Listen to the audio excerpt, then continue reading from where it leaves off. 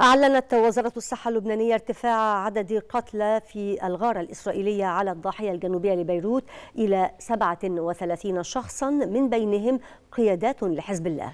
وخلال مؤتمر صحفي أوضح وزير الصحة اللبناني فراس الأبيض أن من بين القتلى ثلاثة أطفال وسبع نساء إلى جانب عدد كبير من الأشلاء.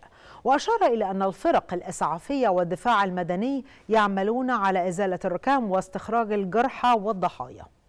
الاعتداء اللي صار امبارح في منطقة الضاحي.